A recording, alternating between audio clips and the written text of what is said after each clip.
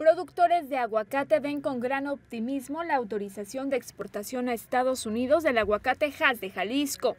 Los productos de los huertos aprobados, producidos y empacados bajo el esquema llamado Plan de Trabajo, podrán exportarse a las 50 entidades de Estados Unidos y Puerto Rico.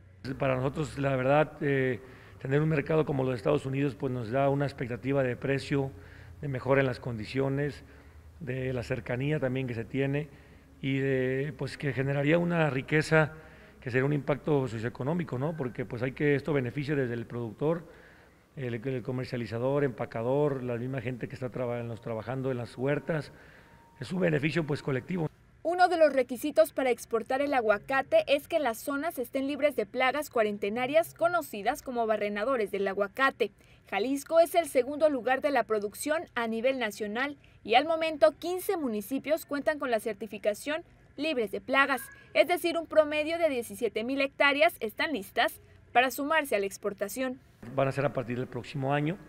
Entonces, este, pero ya lo que está claro como reglas, como el saber el cómo se haría y qué necesitarías para poder exportarlo en ese programa de trabajo ya está bien establecido, que ya realmente te lo digo, Jalisco ya cumple con, con esa expectativa en esos municipios, entonces ya la misma Secretaría de Estados Unidos ha venido en diferentes ocasiones a verificar, a auditar.